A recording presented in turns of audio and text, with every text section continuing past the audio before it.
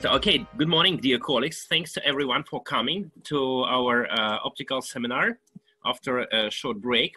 So, let me briefly remind our uh, our rules uh, that we are um, so asking you to follow.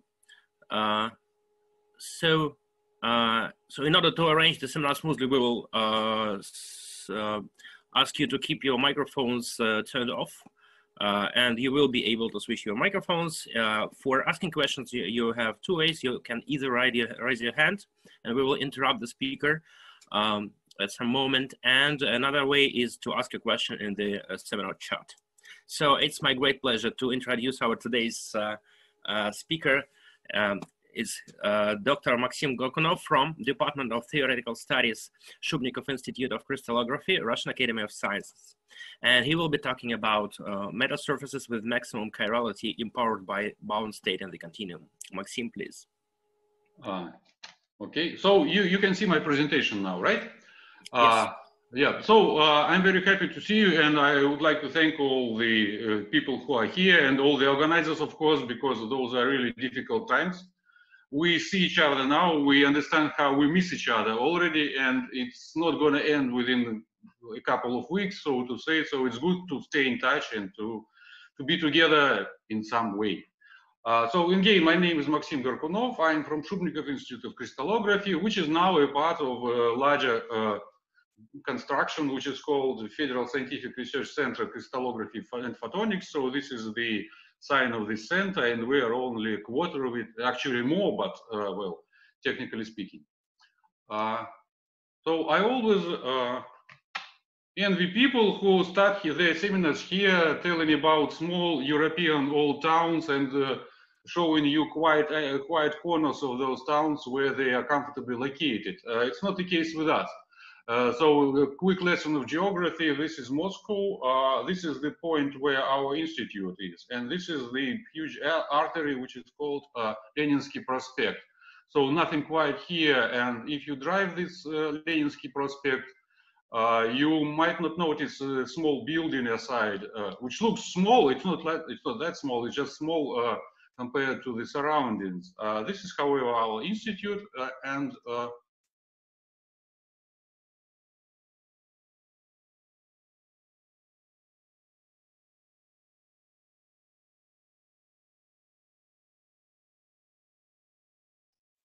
I'm sorry. Do you hear me? Yeah, sorry, sorry, Maxim. Yeah. yeah. Yeah, something happened to my sound. I was notified. So uh, this is the yeah. So you don't want to listen about the um, listen to my story of crystallography, but nevertheless, uh, in, inside people have been doing this uh, grow, growing crystals and doing research on crystals using very sophisticated modern equipment to real, uh, understand the structure to understand how solid state works. And also recently they've been doing some nanocrystals and nanostructures. And uh, historically, this attracted specialists from different fields like chemists, uh, physicists, uh, theorists, uh, biologists, even uh, because there are also protein crystals, uh, so organic matter.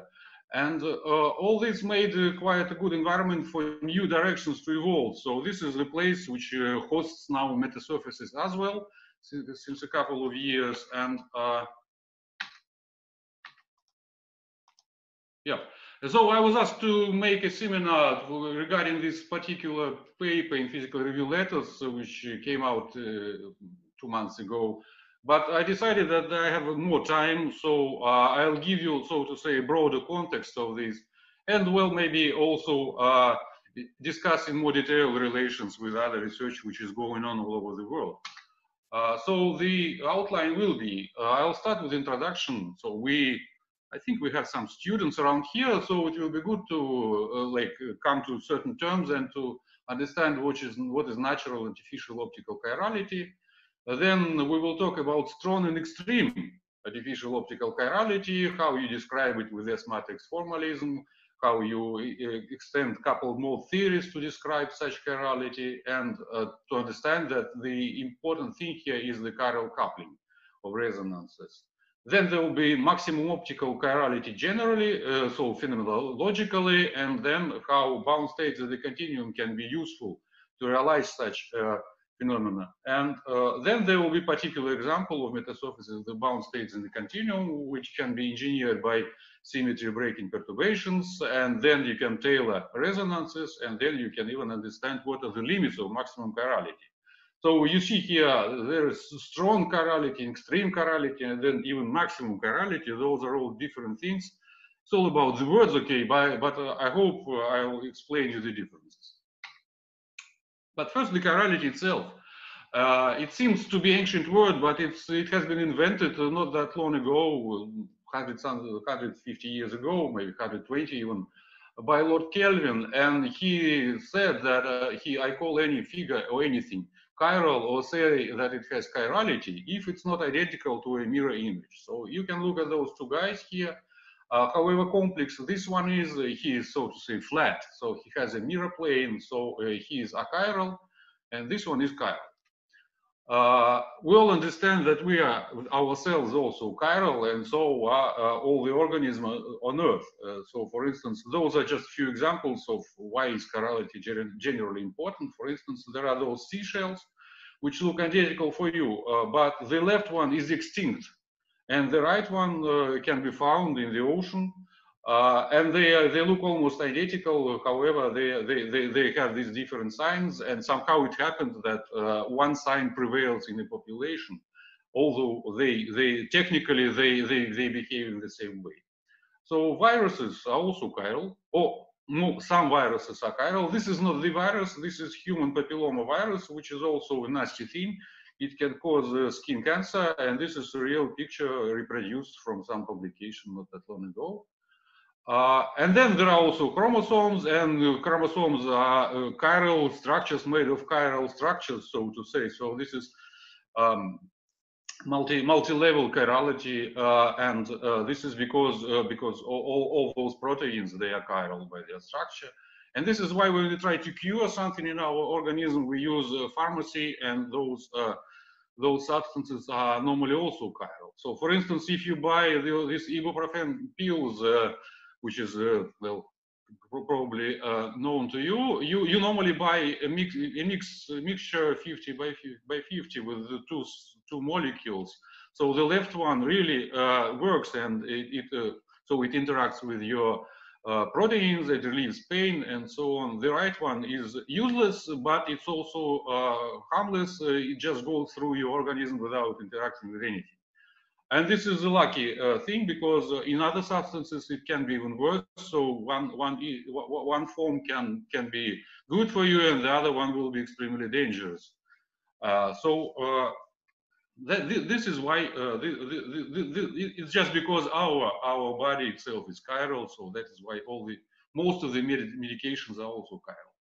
Uh, interesting enough also for students maybe that the physical properties of those substances are equal you can see it here because there is an equal amount of atoms, uh, uh, e absolutely equal energy spectra, all the all the characteristics like boiling temperature, whatever heat capacity, density, they will be equal.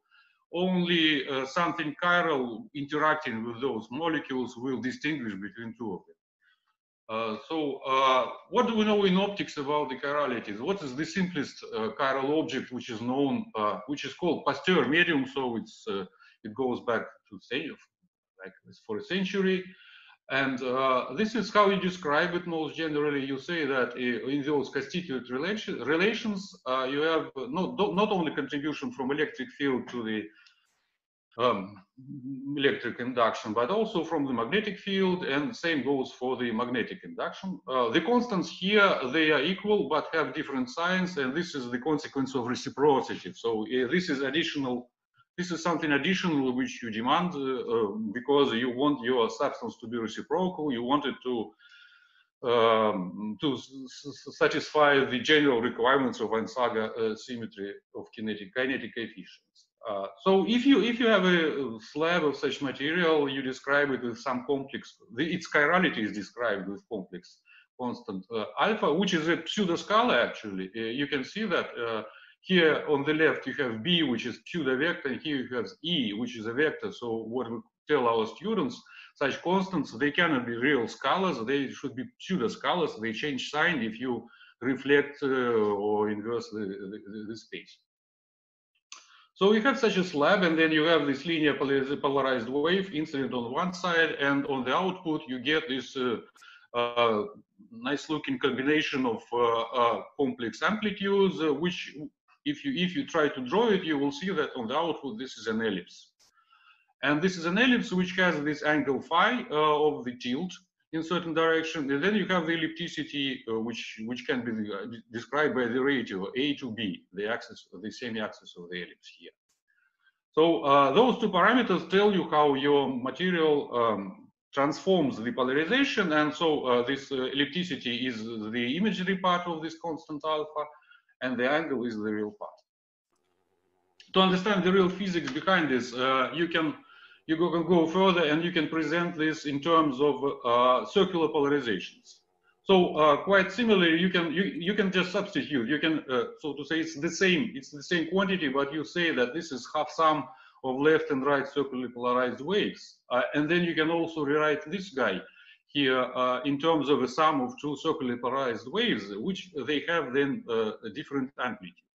So this is the common factor, just the average properties, so to say, of your material. And then you have those exponents which tell you that uh, the phases of those waves, when they're out, they are different. And also their amplitudes are also different because this alpha double, double prime, it becomes real and uh, uh, real exponent of real, uh, uh of, of real number. Uh, so the same constants, uh, phi and theta, they can be now described as the optical rotation, which is which is exactly the different uh, difference of retardation of RCP and LCP light. And then theta becomes a circular dichroism, or describes you circular dichroism, which is the difference of intensities of right and left circularly polarized light. So this is how you understand that the this chiral simply chiral material. It's uh, selective. Uh, so it interacts with the circular polarized light differently, and the circular polarizations acquire different phases and different amplitudes. So they are absorbed differently and they are retarded differently. And this is what is called optical chirality in general since, so to say, centuries. Uh, so what do we have in nature? One of the... Maxim, sorry. Yep. There is a question in the chat from Maxim Gorlach regarding those uh, hyperbolic cosine and sine functions. Could you please comment? Uh, yeah, uh, should be cosine sine. Oh, yeah, okay. Uh, so how you define how you define this angle theta? Is this uh, angle of rotation of polarization plane or? No, no. Theta, theta, theta is the ellipticity. Ah, all right. Is all the right. angle of rotation, and theta is the ellipticity. That's why it's it's like that. So, okay. Uh, Maxim, I would I would suggest that you look at this equation, which is true because you have you, well, you, I mean, you know more than an average yeah, yeah, student, yeah. as I understand, right? Yeah. So you you will you will see here that you will have the exponent alpha double double prime here without i, which mm -hmm. tells you those are hyperbolic functions. Okay. Okay. So you get cosines when you have e uh, to the power of i alpha prime, and those are those are with phi here, and then you have those. Uh, hyperbolic functions here if you have another one. Good, good, thanks. But uh, uh, well, uh, I mean, this is this is this is standard thing. So uh, the, don't do. Yeah, this is this is, this actually shows a good. I, just uh, in a few moments, I'll give another comment on what what happened now. Uh, but first, I'd like to proceed with two quartz. So quartz is one of the most chiral natural materials. Actually, what we know. So, so first of all, it's simple. It's silicon dioxide. But it forms in two different uh, uh, forms, like right and left. And if you somehow get your hands on a crystal of natural quartz crystal, you, you, you will possibly, if you are crystallographist, you will distinguish between left and right ones because the, the, the, the, the shape of those crystals will be different. And uh, if you now build some optical device and try to measure the optical rotation, for instance, then you will also understand the difference uh, but but what you see here uh, for for say green light, you need one millimeter. Jesus Christ! Uh, so you you you you need one millimeter of, of, this crystal to get rotation by say 30 degrees. So if you, if you get another crystal, then it will be minus 30. You can distinguish, but you see that the numbers are huge because uh, how many wavelengths do we have here in one millimeter? Quite a lot. This is why uh, if you take a standard textbook on optics electrodynamics like Jackson, and you can make a full text search on chirality, you'll find nothing. Because traditionally, oh, solid state opt opticians, they, they, they, they thought this is something marginal, so to say. This is some weak effect which, which might be interested, interesting for specialists, but it's not worth uh, teaching students about. Much more carefully, this phenomenon of chirality was approached by people who have done research on organic materials, because we understand, we have shown already that uh, the organic materials they use to form chiral molecules. And if you look at a chiral liquid crystal, for instance, so this molecule is supposed to be chiral, and then uh, this uh, even even in a bottle, such such a material looks strange because it, it well so to say, uh, for those who know, this is a cholesteric, which is a natural photonic crystal. But if you put in a liquid crystal cell, you align it and it will it will spontaneously form, form such helicoidal structures. And those structures will rotate the polarization of light. And substantially, and with only thicknesses of say 5 to 10 microns, you will get noticeable effects. Uh, this is why, uh, so the, the, the people who people who worked with uh, liquid crystals uh, paid much more attention to chirality first. And second this is how the chirality manifests itself. So it doesn't manifest itself directly by interaction with uh, optics. First some chiral structure is formed and then this chiral structure uh, this twist uh, interacts with light and then it causes this uh, huge optical chirality. And this is such such a liquid crystal in a liquid crystal cell obtained in our a liquid crystalline laboratory, which I used to talk normally, but this is this is be, uh, the end of liquid crystal story for today. Uh, so if something in law doesn't exist in nature, people are always eager to manufacture it themselves, uh, trying to break the rules to, to, to expand the limits. And uh, if you if you think about chirality, you think about all those helices and screws. So there is a huge school, so to say, of artificial chirality, people who are making screws and helices. And those are just a few examples from the last 10 years where people have been doing this using, very different techniques. Uh, the achievements, however, are not really uh, impressive because, uh, well, the best one, uh, they've been done in, uh, in several micrometer ranges because there you can really carefully arrange those helices you can make uh, structures of very good quality with uh, low losses. So you see the transmittances of left and right circularly polarized light. Here they are they are also substantial. So this is substantially chiral material. Uh, with the others, the situation is not that good because on the x uh, on the x-axis axis you have here the optical range everywhere, but on the y-axis you have degrees.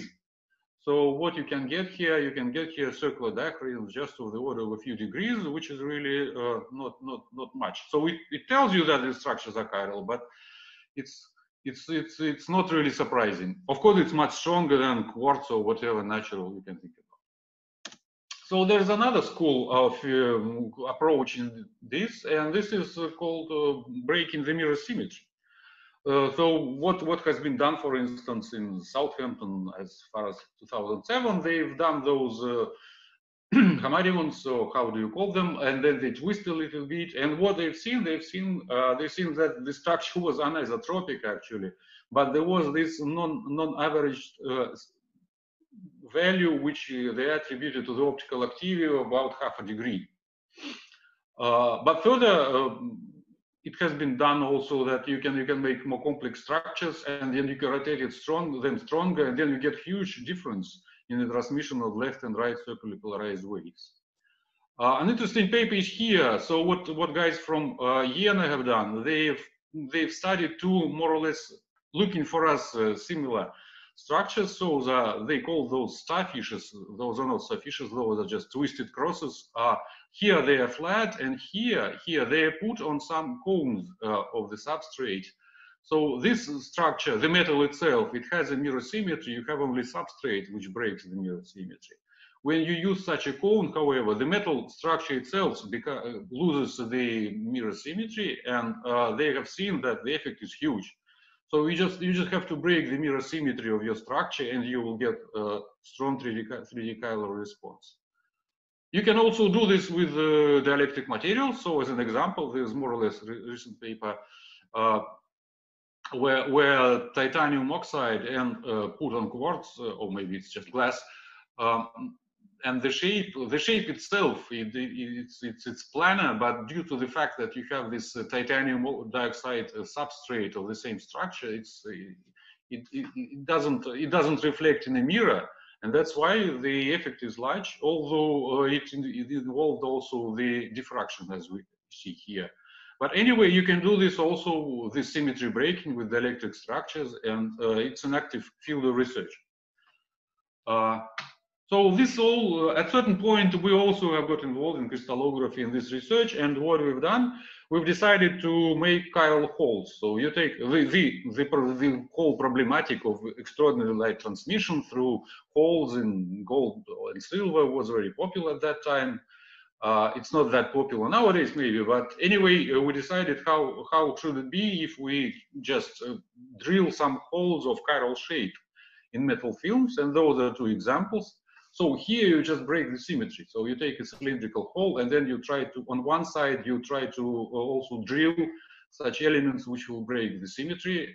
And here, this is a screw thread, uh, real screw thread, which we try to um, fabricate, and those are the experimental data. So first to the, to the left, what we see here, we, we see here that the transmission uh, goes up in the red and infrared, but here it has a minimum, and exactly in this minimum, we have the maximum of chirality.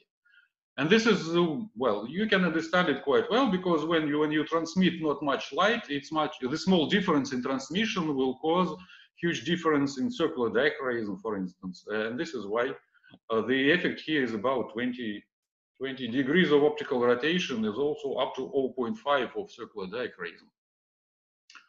Uh, much more remarkable was another structure, uh, which we call extremely chiral, and this is what the term extremely extreme chirality meant to us. So uh, if you measure its response also in, in the region where the transmission in low is low, you obtain the values of, those are experimental plots, you obtain ex experimental values of circular dichroism approaching one and then you also obtain the optical rotation by 90 degrees. So you cannot rotate more. If you rotate it by more than 90 degrees, then it will be like uh, something minus 85, so to say, degrees. So this was the extreme chirality, and it was quite uh, interesting, intriguing, and we decided to pay more attention to it and try to understand how does it work, where does it come from it's not that easy, although that because the the object itself was very complex, so we had to do some experimental research. We tried to uh, reconstruct the we tried to reconstruct the shape by using atomic force microscopy. And the atomic force microscopy had to be also modified because the shape is so complex. So you have to use some tilted uh, probes in order to get in all, all those tiny corners and then you have to combine it and so on. So this all happened to be a good contribution to the science of microscopy on its own, to the so to say, experimental techniques. But as a, as a result, we've got the shape and we did some modeling with such shapes and uh, we understood that, well, numerically you can really reproduce more or less the uh, rise of this strong extreme chirality, but uh, however, what's its origin? And to understand its origin, we have to go into theories. So let me now start the uh, real uh, theoretical material. So this is now where you have to pay attention to all those minuses and i's probably. So you have a structure which is arbitrary and you have the beams which are incident on it both sides like A here and A prime here. And all, that happen to them, uh, if, if there is no diffraction, you will have the outgoing beams from each side like B here and B prime here. And there are two linear polarizations allowed. So uh, altogether, you can describe it with an S matrix equation, where you have those vectors B of the output and A of the incoming, and then you have these linear coefficients which uh, just relate them somehow. If you know nothing about, about your metasurface, then more or less everything is possible here. And uh, all those coefficients, they have a sense of reflection, reflective, reflective amplitude or transmission amplitude t. So prime de de denotes different sides, and then the indices, they denote the polarizations, the, the initial and final stage, stages of polarization. Uh, so this is just, just, just, just general formulation of this uh, four-port matrix, this matrix. Uh, however, now if you if you impose uh, certain restrictions, for instance, you say that your structure is recipro reciprocal. So the Lorentz reciprocity tells you that such matrix should be uh, symmetric, so uh, transpose equal itself. And then you can think about rotational invariance. So uh, imagine that you rotate the, the structure by, say, this structure by 90 degrees, or if you have other axis of symmetry by some other angle. And then uh, the, the structure remains itself, so the S matrix also, also remains itself. And this is why this equality must be true, where this t phi is such a matrix with such an angle. So you make this operation, then you uh, combine it with Lorentz reciprocity, and you immediately obtain that instead of this uh, general S matrix, you have to have something more simple. So first of all, you have only two reflections, two numbers which, uh, which describe the reflections, reflections from one side and reflections from the other side. And they don't depend on polarization.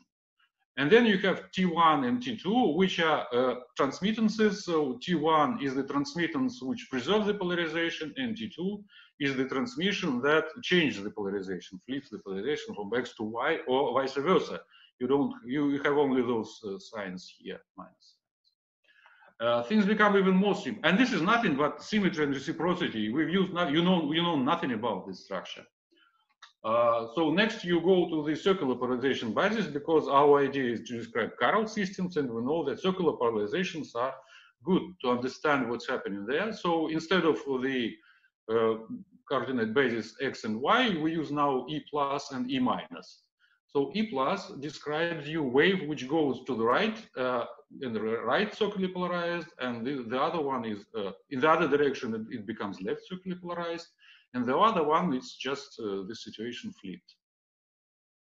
So now you can transform from this basis to another basis by using certain transformation matrix, which is which is which is so to say obvious. You can uh, you can probably do it in your mind now, but the result is is is very simple. What you get, you get a block diagonal form of the S matrix. So you have two squares here. Uh, you have zeros everywhere, but in those uh, two, two quarters. And uh, here you have the reflectances uh, R and prime, same ones. And then you have the transmittances of left and right circularly polarized light, uh, which, are, which are equal for both directions.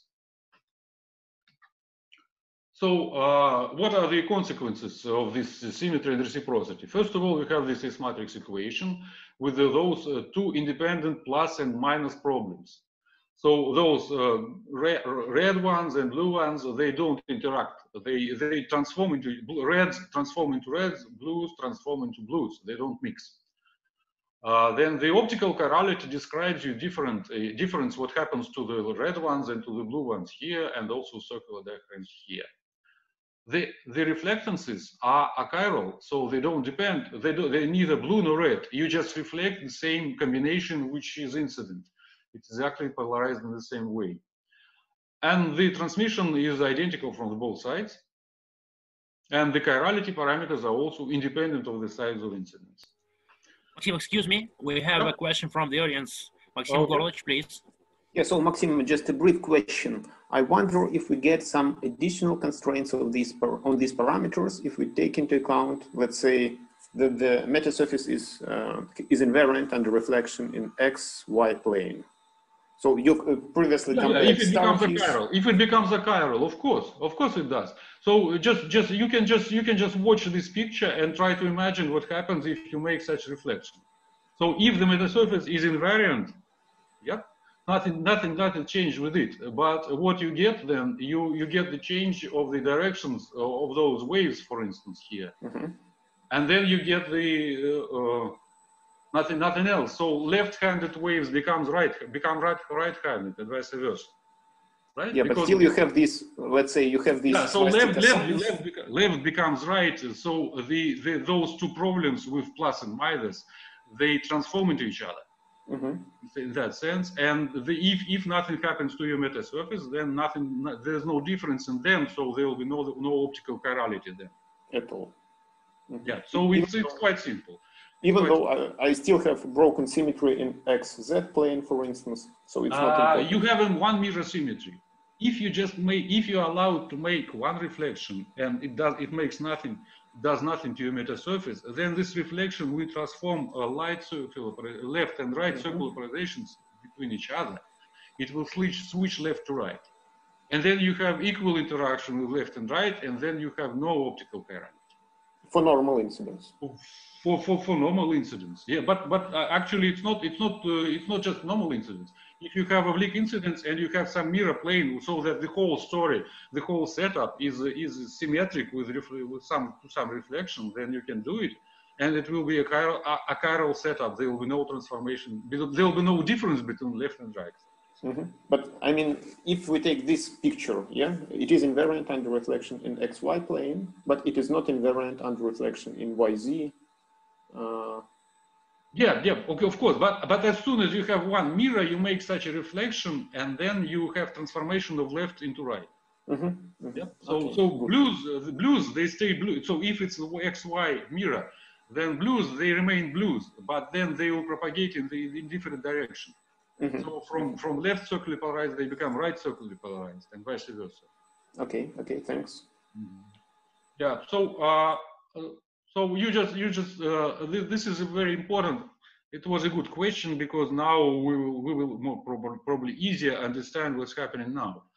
So as we say, uh, there, there are no reflections, there is no, there is no, there is no difference for reflections how the waves are polarized.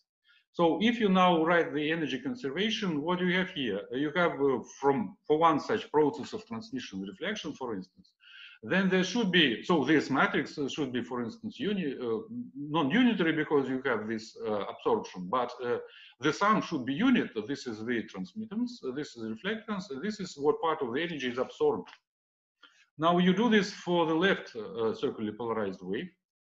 And you see that there can be only the, some difference here in Ti and TL, only if there's difference in absorption. So uh, circular dichroism is determined by chiral absorption selectivity. This is what we understand without doing anything particular, actually, with just plain symmetry and reciprocity.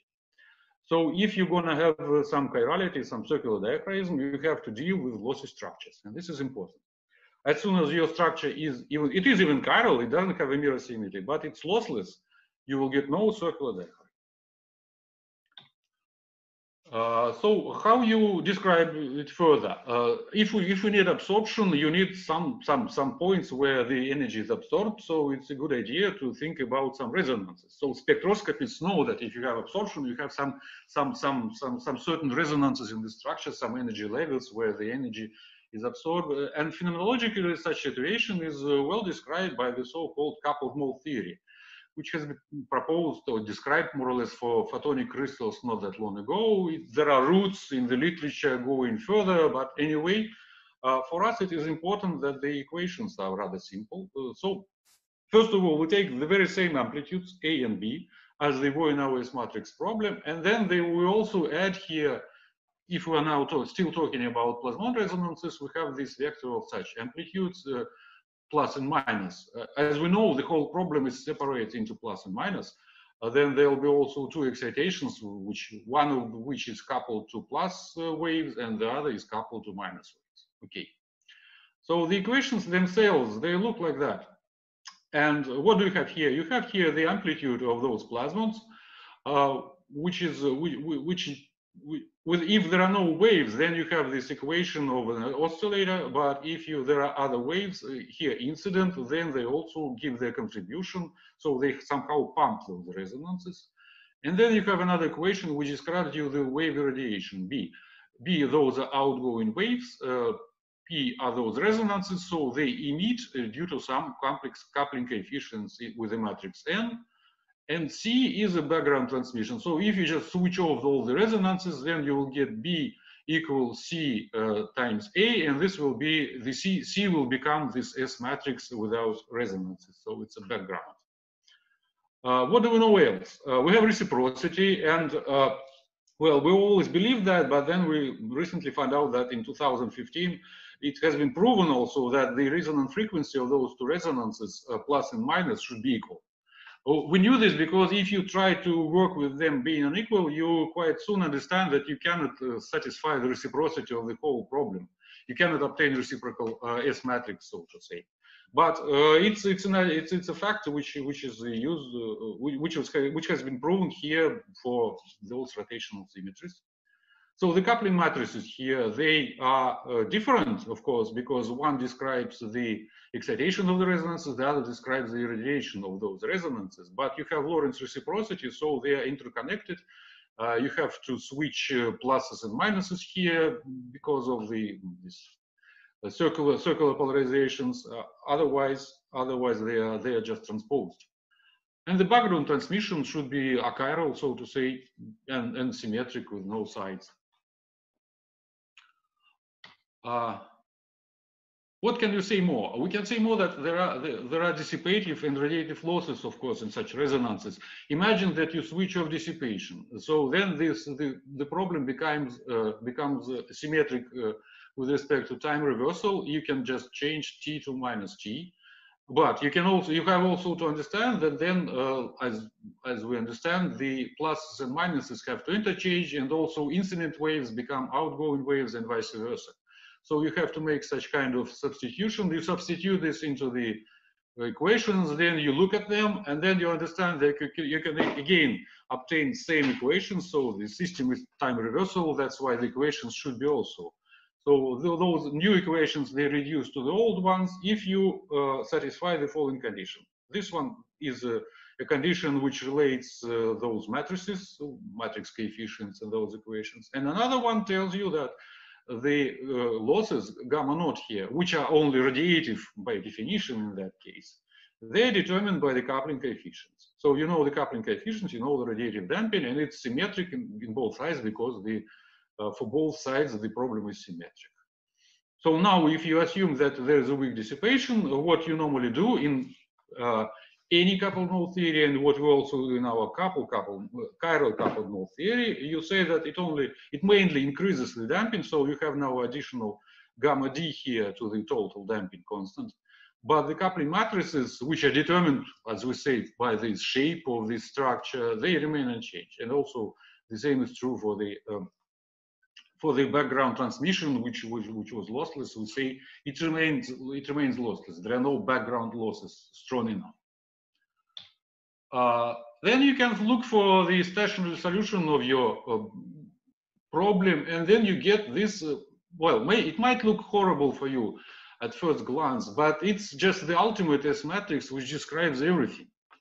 Uh, as, as uh, first of all, it has the same block diagonal form as we you know it has to have generally. And then you have all the amplitudes here, which, which describe the optical behavior of such metasurface. So namely, you have the following amplitudes TL and TR. And those amplitudes, uh, the difference between them uh, de determines the transmission selectivity or the circular dichroism in the end. And the absorbed energies can be also calculated and they take this simple form. So uh, if we watch now closely, first of all, we really understand that the losses are important. So this is our general conclusion. In this particular case, we see that this difference is proportional to gamma d. As soon as you switch off gamma d, uh, there will be no circular dichroism. Uh, next, what you can see here that the difference is also uh, determined by the difference in those two coupling coefficients. So what we see, well, it's on the next slide. But anyway, we conclude that we have this coupling selectivity, which uh, uh, gives rise to absorption selectivity, and this gives rise to optical chirality. And we have managed to successfully reproduce our numerical data. Uh, I mean, we, uh, we had this uh, full-scale FDTD simulations, and then we have this simple formula. There are there is not one resonance. There are two resonances here. We have to, uh, but it was also obvious from the patterns that we've modeled that there are two resonances. They, they were seen also experimentally. So uh, this is a more complicated equation, and we managed to fit all more or less exactly, and we drew a conclusion in 2016 that we have understood, so to say, the mechanism behind this uh, extreme optical chirality. As I told you, this is due to this chiral excitation of absorbing plasmon resonances. Uh, so what is the what is original here and what is obvious? Uh, first, uh, the very idea that you can expand your amplitude in terms of a pole expansion, as it's called by mathematicians, it has been known since centuries. So uh, more than 100 years ago, this is a course of modern, to that time, modern analysis, where it's called Mittag-Leffler theorem. It tells you that if you have a reasonably good function, you can always expand it into a Pole expansion, and it will exa have exactly more or less the same form as we have used for our fitting. So nothing original here. What is original, however, that we now know how uh, those coefficients here are determined uh, by what, is the critical uh, factor here, and those are those coupling, coupling amplitudes. So any difference uh, between left and right come between from the difference of those uh, coupling amplitudes. So uh, again, coupling selectivity causes absorption selectivity and it causes optical chirality. And now we understand that now people asked us a good question. So now that you know, you seem to know, you okay, you claim to know everything. Uh, could you possibly design a chiral structure? Uh, we told okay, but uh, you know that those plasmonic systems they have those complex shapes. And those complex shapes, uh, they host some very peculiar plasmon resonances. And then we have to know how those resonances are coupled uh, to incident waves. It's incomprehensible, so to say. So you can study this numerically, but if someone asks you to design this, uh, it's not that easy because you don't know how to design this. There are no principles of this. Maybe you can use some artificial intelligence, but uh, you cannot think about it. And uh, but what we understood that if you wanna if you wanna perform the chiral design, uh, then you have to control the coupling. You have to understand the coupling, comprehend it, so to say. Uh, and uh, for instance, if if now you pose a legitimate question, how do you maximize the chirality?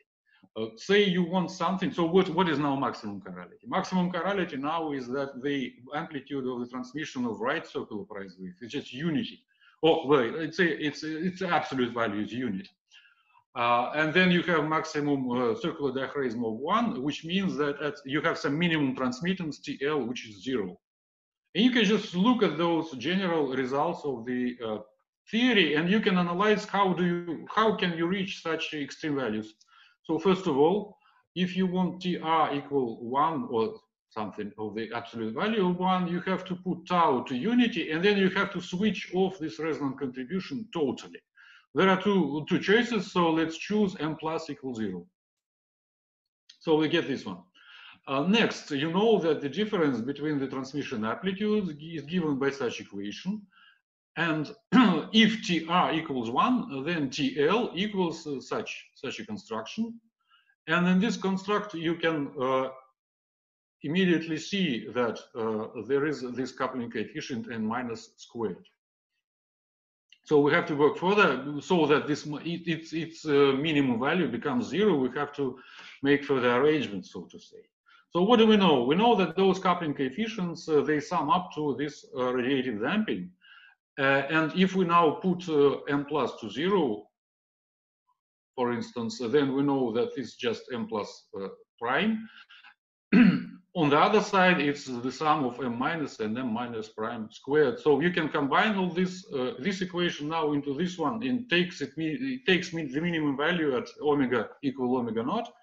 Uh, so this is what you get. And now you can just equate it to zero, or you can equate this term to unity, and then you immediately obtain that there's only one possibility. So first, m minus prime should be also zero, and m minus squared uh, should give you twice the dissipation constant. So uh, this one actually is simple. This is called so-called critical coupling. So you have absorbing structure, and this structure absorbs something exactly at the rate where uh, how it can uh, transform the incident energy into this to, to, to those resonances. So this is the critical coupling condition.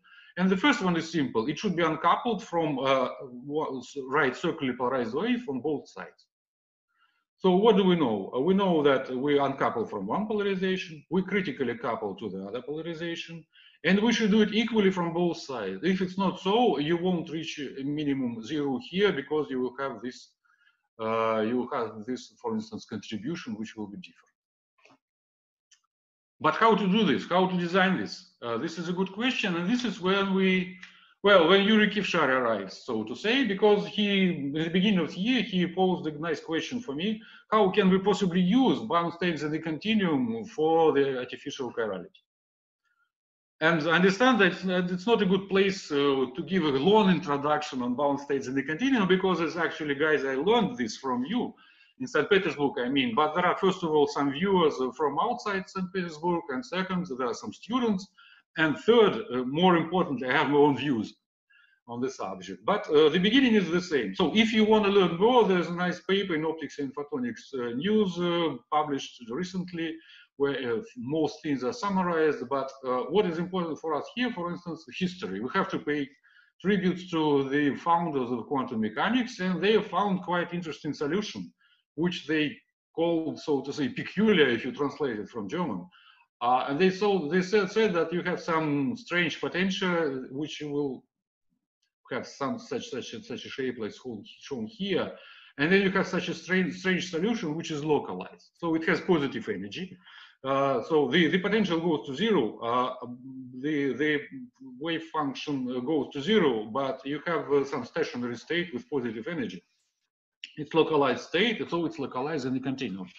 Uh, as far as I understand, it didn't have much consequences in quantum mechanics. So it's just a peculiar solution. I mean, you can you can check it. You can mm, put this solution in potential into I mean, Schrödinger equation in spherical coordinates. You will see that it's right, nothing else. Uh, but uh, in the in 2008 and then later, people have understood that you can also find such states, uh, sim uh, certain similarity of the states in optics. So you have to have some double grating here, or you have a photonic slab here. And then there are certain points when the resonances don't interact. So you, you have some eigenmodes which are otherwise interacting, uh, some resonances which are interacting with the incident radiation, but there are certain conditions where they don't.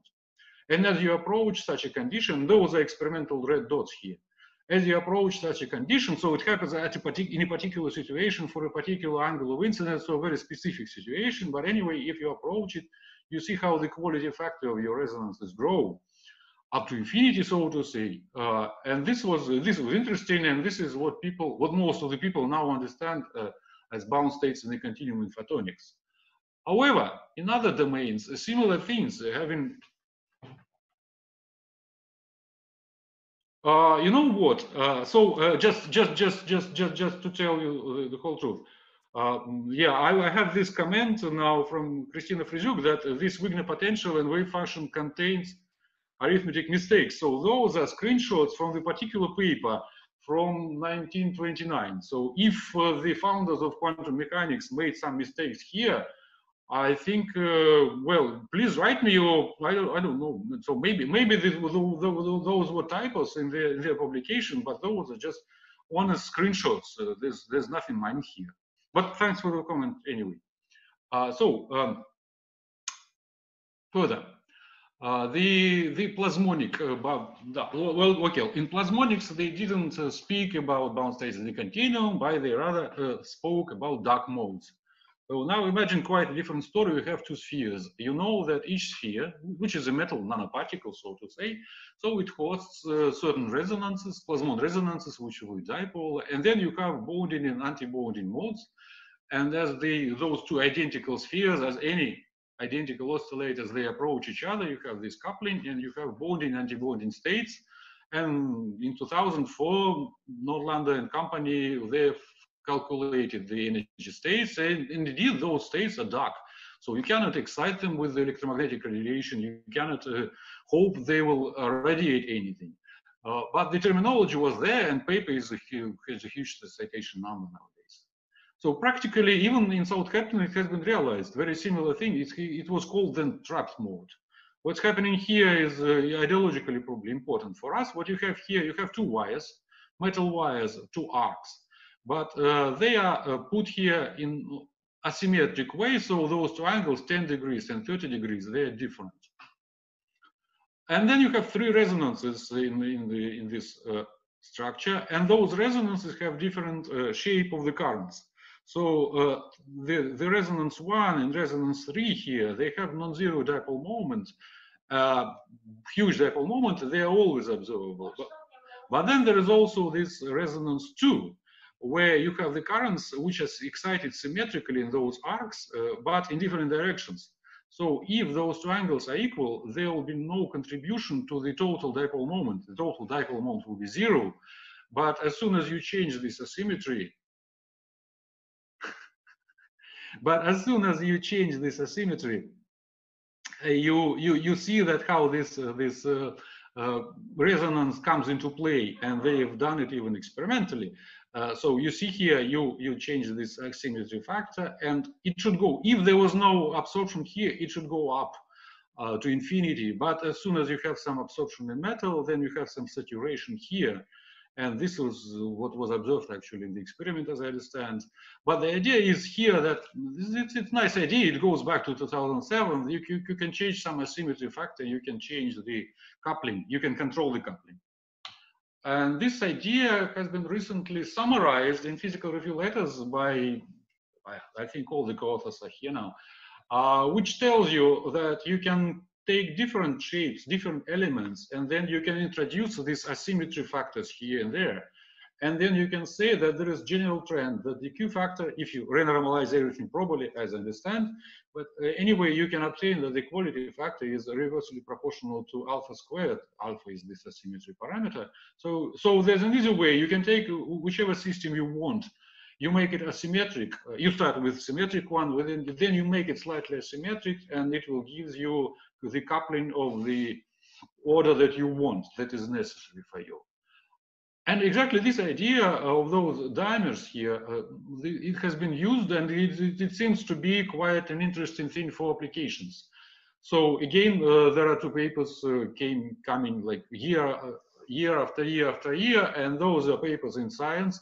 And um, well, um, I, I'm not in a good position to advertise such this paper in front of the co-authors, uh, but what's good for us here that you can use uh, such for those who who are new to this field, for instance, I should explain briefly that what you can do here, you can make structures uh, which are almost similar, but they're scaled. That's why they have this resonance, uh, which is uh, which happens at different uh, wave wavelength. And then you, if you have such pixels, you cover it with the substance you want to interrogate. So you have the absorption spectra some, of some protein, and then you want to understand how does it absorb light. Or you, you want to distinguish between different, uh, different proteins, so to say, you need its signature. So you can do it simultaneously by interrogating different pixels and uh, by uh, combining all this into this spectrum. So this is spectrometry on a nanoscale and with one in one shot, so to say, in several shots. It becomes even easier mm, if you well, it's, it's also a nice idea. Uh, if you change the angle of incidence from normal, then the resonances will shift. So you can even use the same pixel to and you can interrogate it at different angles. And this is how you can reproduce certain absorptions of certain polymers and proteins. So this all has a quite clear application prospects. As I understand, there are now startups based on this in Switzerland. Uh, but for us, uh, let's uh, let's pay more attention to how does it work. So we start with the, those uh, anti-parallel dimer, uh, uh, totally symmetric construction, uh, where you have those P1 and P2 totally anti-parallel. Uh, and uh, well, if, if now the co-authors of this paper will allow me to rewrite the equations, so I understand this in the following way.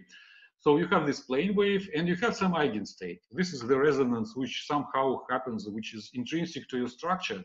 And then these coupling parameters they can you can write this in different notations, but you can also present them as this simple volume integral. So integrate everywhere where this current is present. So you integrate over the uh, those electric bars, and you integrate this scalar product with the incident polarization.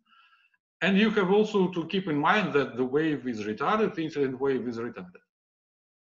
So for instance, if uh, you have this structure and you have this resonance described just by two dipoles, P1 and P2, this immediately goes into such a simple relation, just the sum of two scalar products with the, uh, with, the with their locations uh, along the z-axis.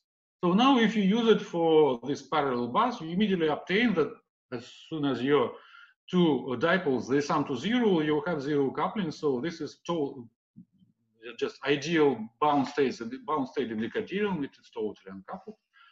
If you look uh, at a structure which has this small angle theta, then you have uh, uh non-zero sum in the x direction, and you have this non-zero mx coupling.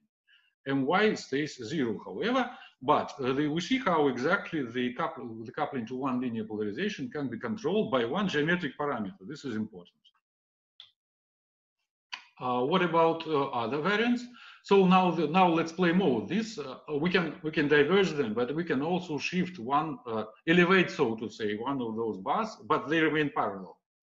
What we have here, we have no no no no dipole moment in the uh, x direction in some, but in the y direction. So this is this is the this is the y direction. So along the bars. Now those dipoles they they are located on different levels. So if, for instance, those dipoles radiate, they, they won't hear those dipoles radiate exactly in antiphase, so they will just uh, kill each other, the radiation by destructive interference. Here it's not like this. They'll be they'll they'll be not in in antiphase, and there will be non-zero contribution, and we will have this non-zero my coupling. Now we can combine both. So you see here we have this mx non-zero, here we have my non-zero. If you do both, if you twist and elevate, you have the contributions uh, to MXA, MNY.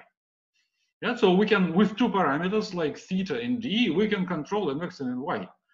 And uh, we were, we've been looking for controlling chiral, chiral uh, polarizations, coupling to chiral polarizations, which have both X, X and Y components. So uh, can we can we do this? Yep, and it happens easily.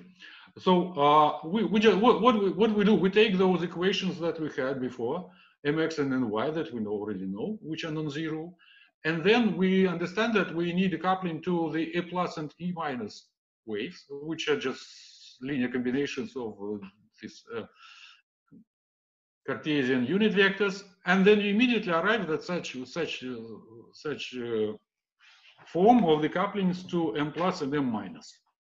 What you have here, you have this sine theta minus k d over 2, uh, which means if you just set theta proportional to d with this small, really, those are two weak perturbations. d is the elevation here and theta is this angle. So they're just proportional and uh, immediately obtain m plus equals zero. This is what we needed for the maximum chirality. I remind you. What is even important, the other constant, it, it becomes adjustable also. So if this is satisfied, then you have this uh, small sine 2 theta, which is adjustable.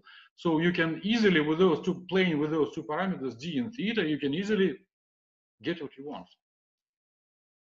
Uh, how, why was it, the, I mean, just if you want to get more physical insight into this, just remind you that in, the, in this uh, right circularly polarized wave, the electric field goes along such helical axis. And then uh, what happens here, actually, you arrange your dimer exactly in phase with this wave. So the field rotates and uh, as it propagates. Uh, this is why you, you you just you just make it so that in these dipoles, they, these dipoles, they don't interact with this particular configuration of electric field, which happens to be in circular in right circularly polarized wave. Uh, just just just just just to, to show you that this is this is some sort of exceptional case because what we did here uh, it's not obvious that all you will always have this freedom to set a complex number to zero because you have to immediately immediately to have both real and imaginary components to zero. So this is some exceptional situation which when, when it happens it's not always like that. Uh, now uh, Maxim excuse me. Yep uh, I'm not able to raise a hand since I'm an organizer. Okay. But uh, could you please answer the following probably simple question? So all the considerations you uh, have shown before rely on the fact that your dipole moments do not interact with each other, as far as I understand. But uh, so since you modify the system, they start interacting, and for this reason, uh, this this the whole uh, answer should be a bit more complicated, as far as I understand. So is it so or not? It is. So uh, so let me let me say first. First of all, the whole the whole this state is, is emerges due to the coupling of two dipoles. So what you say, maybe maybe I mean if you if you've done some math, uh, just let me go back to this this. So take two oscillators they have their own dipole modes, and they, if you if you if they're if they're infinitely far apart from each other, they will just oscillate independently. But as they as you bring them close, then they will form symmetric and antisymmetric or bonding and anti-bonding modes here. So those are interacting, but the interaction, uh, as they're symmetric, the interaction causes the emergence of such state. So one is parallel, another one is anti-parallel. Or here, one is parallel, another one is anti-parallel. So they interact electrodynamically. This is this is the real uh, eigenstate of such system, with the, all the coupling taken into account. The same happens also here if you take into account all the interactions in such system, there will be interacting dipoles, just their resonance will be in this anti-bonding mode, one of them. There will be also symmetric one, we're not, we're not interested. We cannot control it, we're not interested. So now, if you diverge those bars, of course you change something, but you, you, you go along such a logic that this angle is small. So probably if you if you diverge it strongly, like by 45 degrees, you will just uh, completely disrupt the whole story. But if you if you do it carefully by small perturbations, so to say, the dipoles will be will still remain along the long lines of those bars, but they will be just diverged. So of course it's an approximation, but uh, we have numerical examples. I was just going to show how it it really works. So uh, this is a good. Yes, but still, in this in in this consideration, as far as I understand, when you uh, modify the system, you neglect the change in the interaction strength. Uh, yes, here, here now, yes, I, I, I, I say that this this theta is so small that the coupling between those dipoles, it's it changes, so to say, negligibly. Yes, you're right. You're right, because of course, okay. uh, what, what we don't write here, those only coupling coefficients, but you have, also have the eigenfrequency. And just let me let me just proceed. I'll I'll just show what you are talking about because we're now going to the full new full numerics with COMSOL, uh, where we'll see just exactly what is happening, so to say, in nature, theoretically, right? So what we, yeah, but let me first explain the what what what, what was simulated. Uh, so we have those silicon bars and the, you, you, the scales are here, uh, and you see those are those are nanobars, and then they we place them in such a C4 symmetric lattice. So if you careful, uh, carefully analyze such structure, uh, you will see all these symmetry elements which are here. Especially, you will see the C4 uh, rotation matrix. Uh, Andrei Bogdanov. Andrei Bogdanov wants to contribute. yes, please. Uh. Yes, uh, uh, could you switch to the previous slide, please? Oh, yeah. Here?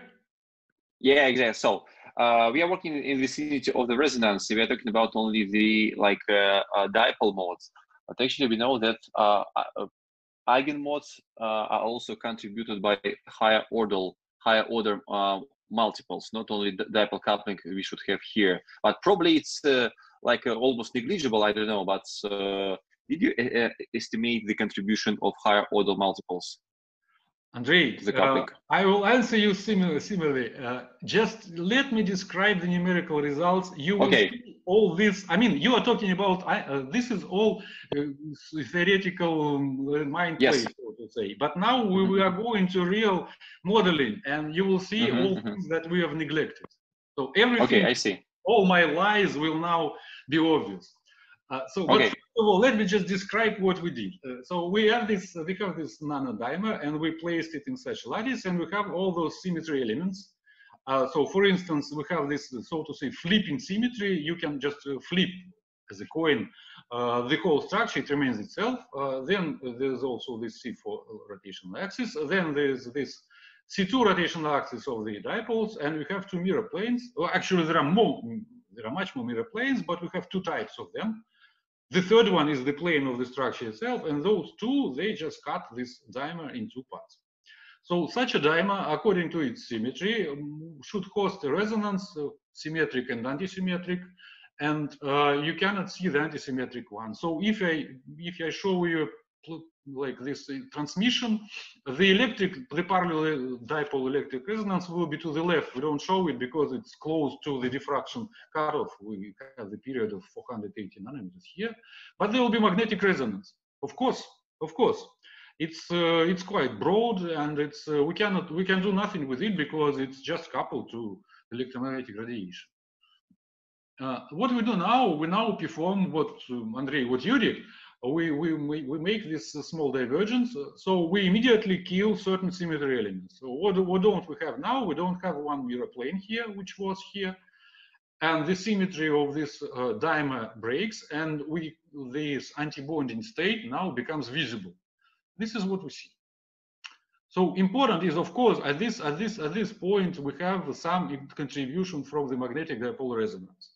So the main, the, the, huge part of the story is how to design a system where this resonance, which you are working with, is isolated. It stays away from the others. You don't have other contributions because otherwise you will have a huge contribution here. So this transmission probably would be lower. And if it's lower, it's, well, we, we needed, uh, well, the, the best case scenario for, for us is unit transmission. Uh, and it won't be unit. So we try to stay, away as far as possible from all the resonances. And you see that here we're playing with initial transmission close to one. And this is the, the, the role of this uh, divergence. Ah, yeah, and also importantly, what we use here, we call it this uh, quasi-silicon. So this is something which refractive has refractive index 4 and this small extinction coefficient. Now we do another way. We, we, we elevate one of the bars, but we don't diverge them. So again, uh, it, it, kills another mirror symmetry plane, but the other remains. So the structure remains achiral. And what we see here, uh, we, we see that indeed the resonant frequency changes. So uh, coming back, of why, why does it change? It changes because the coupling is changing, of course. But we uh, affect the interaction constants mostly. Uh, and then secondary, we affect the position of the resonance. So we, we affect its quality factor more than its position. That's why when, when we make such uh, mind games, we can probably neglect the, the, the, second and take into account the first. Uh, but in reality, both things happen, of course. Uh, now we combine those two situations and we arrive at the something that we can call uh, chiral quasi-BIC. So what are we looking for now? Uh, we are looking for such a condition, but phenomenologically and it's not accurate, but it's it gives us approximate, um, so to say, um, well, we should look into three degrees. Uh, in fact, we see that at 3.5 degrees, so this was displayed by 10 nanometers, and at 3.5 degrees, we see the situation when there is no resonance here in the TR. So we think that we have uh, achieved this isolation of our resonance from the uh, right circular polarization and left circular polarization it's uh, well it's absorbed of course because the reflections are achiral so this energy which we don't see here it cannot be reflected because the right right, right circular polarized wave is not reflected almost. So this whole energy is absorbed but we don't see zero here.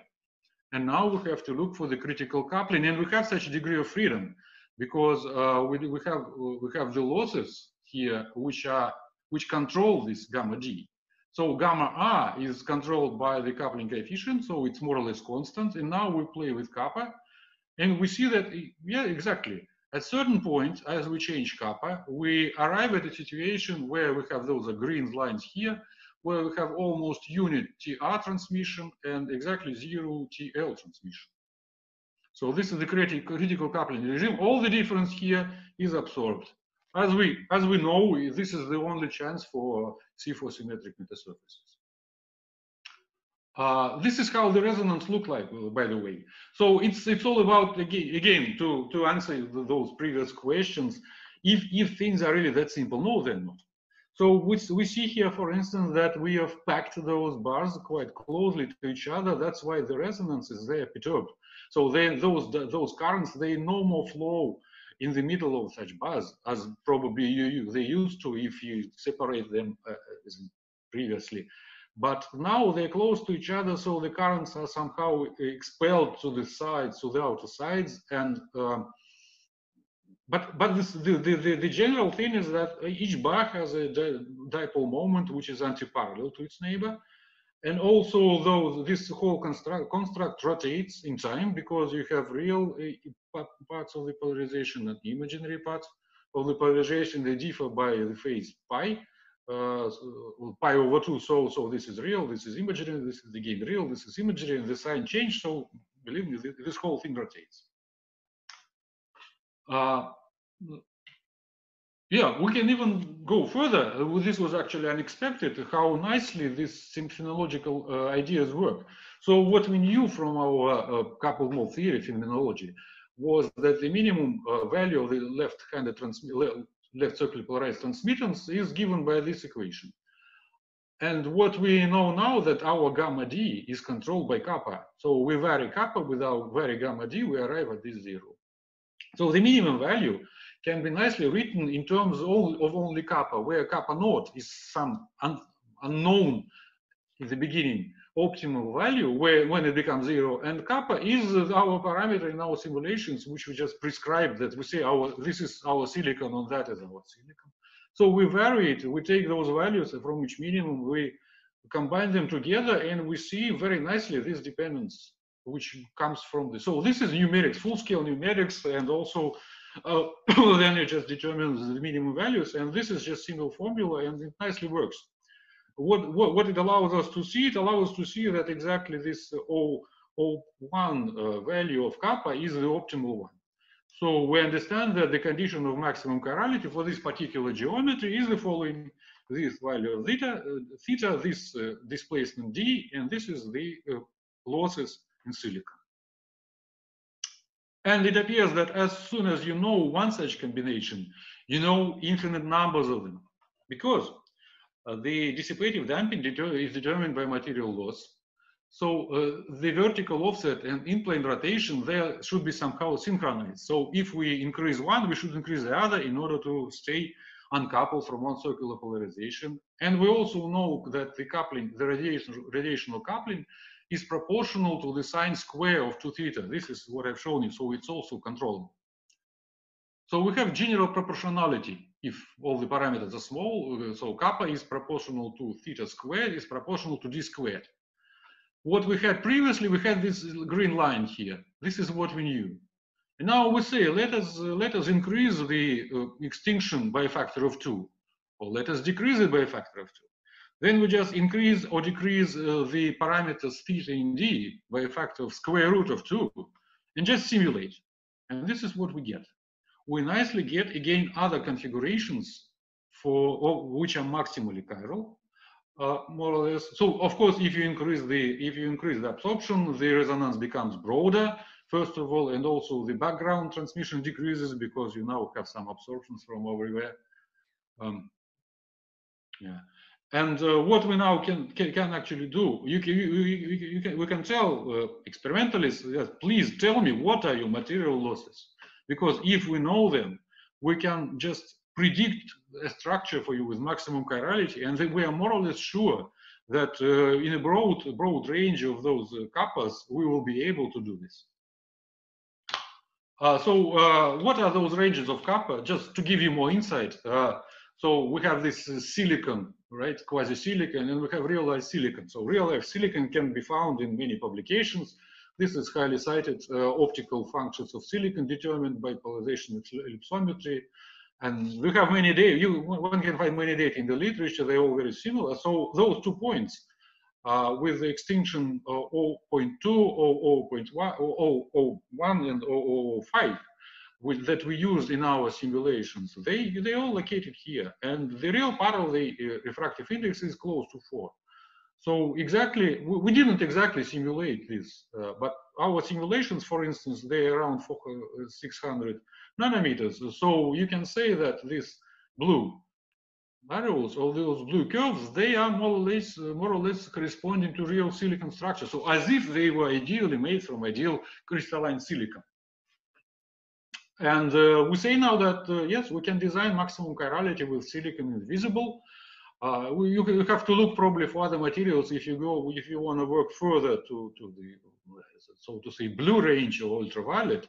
But in the red and, the, even mid near infrared, you, you, can easily do do it with silicon, and maybe you will have to worsen your silicon in order to get more absorption, in order to get resonance that you can observe. Because of course everything has its limits, any any experimental accuracy. And this brings me to my conclusions. So first, uh, let's first uh, describe what we've done previously. Uh, first of all, uh, because this goes back to 2015, 2016. rotationally symmetric reciprocal chiral structures, the abnormal incidence, they show, first of all, circularly polarized eigenmodes. Namely, we used to write it as independent plus and minus problems. Then we have a achiral reflections, and they have equal chirality for both sides of, of incidence. And their circular dichroism is determined by chiral dissipation selectivity. If we write a coupled mode theory, then we understand that, first of all, it describes transmission with background and some resonant contributions, and it even describes more or less natural situations which occur in nature in experiments. So uh, more, it explains the chirality as something which is determined by chiral selectivity of resonance coupling. And again, we managed to reproduce these chiral calls to understand how they work. Uh, and here comes the year that no one will forget. And in 2020, actually, here comes Yuri Kivshar, who posed a nice question to me before the lockdown started in Moscow, and then I had nothing to do but thinking about this. Uh, so uh, what we understood that this coupled mode theory also specifies conditions for maximum chirality. And uh, as a platform for this maximum chirality, you can use bound states in the continuum because uh, this platform allows you precise engineering of coupling by symmetry breaking perturbations. So if here we could speak about these coupling coefficients, but we didn't, we couldn't engineer them, we couldn't tailor them. Here we can. So this bound states in the continuum as a platform allows you many possibilities uh, to realize maximum chirality.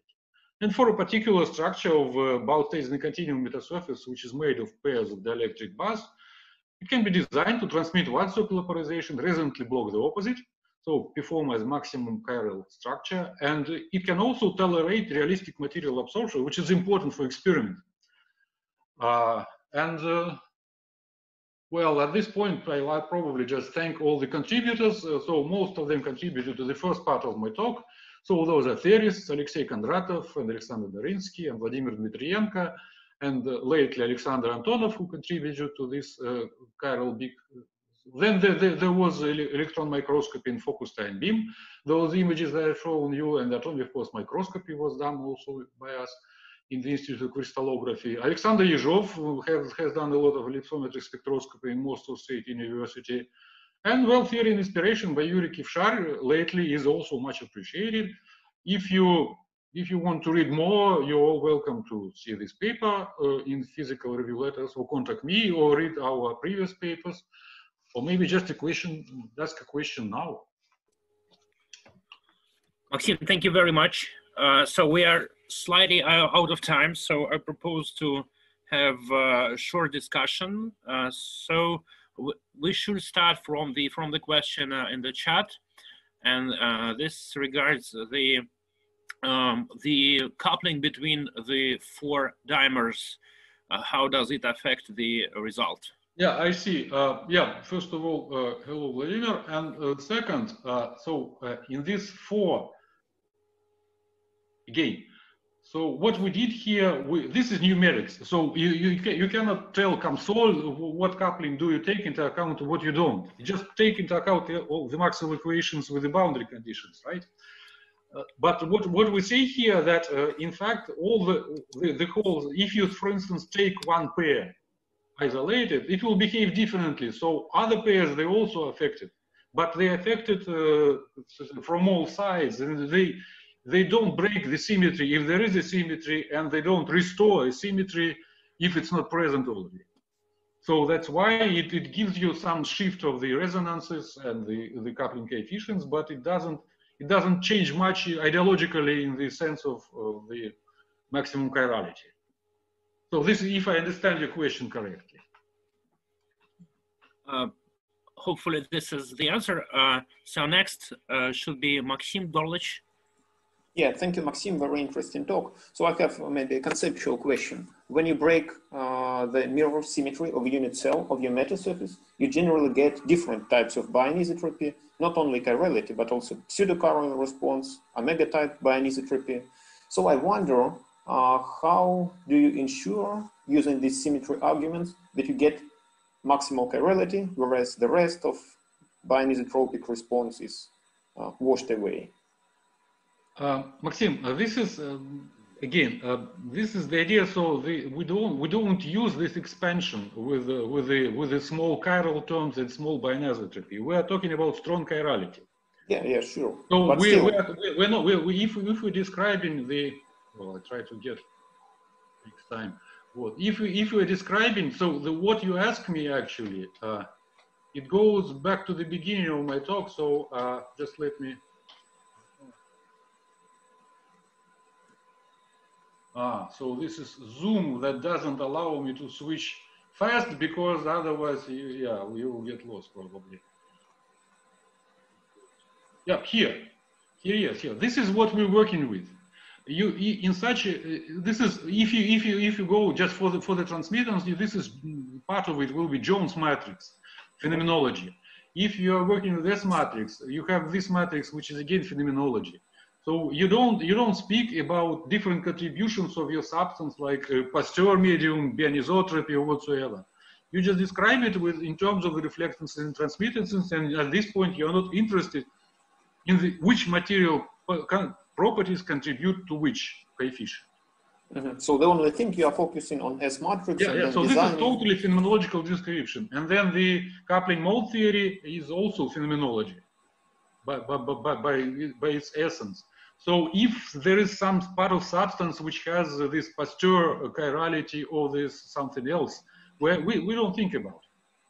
Okay, good. We just then- take everything into account. And then another question at the end of, the, of your presentation, you were showing us numerical simulations and uh, specifically field profile in this unit cell. So I noticed that it doesn't have C4 symmetry, even though your structure has such symmetry. Could you Uh, comment on that? So this is the idea. If this, if a structure, i- if if your potential, Wigner's theorem, ask Andrei Bogdanov uh, or Kristina Frizyuk. I think I heard very nice lecture from her on your channel about these uh, representations and group theory. So uh, just just let me find this. If you have a potential which is has a C4 symmetry, then the solution of corresponding linear equation, differential equation, will be a representation of this group, which is here. Uh, something which rotates. So you, you rotate by an angle of uh, pi 2, pi over 2, and then the solution uh, gains a phase factor. Yes, yes, phase factor. Uh, yeah, exactly. So this is what happens here. So from real, you get imaginary, exactly the same one. But the same amplitude. Yeah, yeah, with the same amplitude. But you see, you see here, the, those reds are real part of the polarization, and those blues are imaginary part. Yeah, but it looks like it's it's more shaded. Maybe I No, no, it's uh, well, okay. It's, it's it's it's all about the presentation now. But Mhm. but the idea was that this is exactly the mode that, that we get. Mhm. Yeah, so- dipole mode. Yeah, no, it has to have this symmetry. So maybe we still have a mixture of both of them here. I don't know. Maybe it's about numerical quality or Mhm. quality of the picture. Yeah, but we it transforms. But it transforms like a dipole. Yes. It transforms as this um, according repre- representation of the C4 group. It, it acquires uh, a phase factor I as you rotate the coordinate system by 90 degrees. hmm Well, this is dipole. Yes. So real, real, no, no, there's no, real becomes imaginary, imaginary becomes minus real and so on. hmm Because it it, can acquire minus one phase factor. yeah, yeah, and minus the, exactly the modes with which are called, which we call plus and minus. So one will acquire, acquire one phase factor and the other will acquire the opposite one. Okay, good. Thank you, Maxim. Well, Maxim, if allow, I will ask also a short question or maybe even a comment. So when you're you're uh, talking about uh, the uh, losses in the system, you somehow made the transition to material losses in your uh, so in silicon or whatever. But so I believe that the losses in the system basically depend on the configuration of your metasurface and the mode you excite. For this reason, uh, there is no direct relation, and that it becomes some kind of self-complementary problem uh, when, when talking about this. And for this reason, the design of the system is much uh, complicated. Of course. So as soon as you, as long as you keep the losses small, then you can make the same trick as the in, the, in the coupling mode theory. You can say that my losses are so small that they don't contribute to the coupling to the incident wave. So I have this radiative coupling, which is unchanged. The excitation of modes is unchanged. I, I, do, I do have some additional contribution to the losses here, like gamma d, to the damping constant. There's some part of the energy is lost. As soon as you push this kappa to higher values, it will affect everything, of course. So for instance, you cannot just put here kappa equal four. Yeah, of course you will get something different, but all the resonance will disappear because the quality factor will be horribly low. Yeah, just wanted to know that the overall losses may strongly depend on the field distribution and thus the absorption of course, uh, in the of system. Course, of course. So, so uh, but if, if the losses are weak, we say that, for instance, this polarization distribution remains the same. Yes, it yes, yes, I agree. It yes. becomes higher if the losses are lower, or it becomes lower as the losses suppress the rest. Um, so, okay, then uh, I don't see any questions uh, uh, more. So with that, I would like to uh, thank Maxim uh, for, for accepting our invitation and giving a brilliant talk at our seminar. Before we finish, I would like to announce the next seminar. So in a week, we have an internal uh, pre-defense by Dmitry Dzhirikhin. We'll be talking about uh, about photonic topological insulators. And in two weeks, we have a public seminar which will be given by Professor Andrei Miroshnichenko from University of New South Wales, who will be talking about smart nanophotonic um, nanophotonics and uh, dielectric uh, nanoparticles. So please subscribe to the mailing list and uh, visit our website to keep updated. Uh, thanks to everyone for joining uh, the seminar. Uh, thank you, Maxim, in particular. Thank you all. Thank you, Maxim. Yeah, hope, hope, um, to, hope to see you around somehow, guys. yes.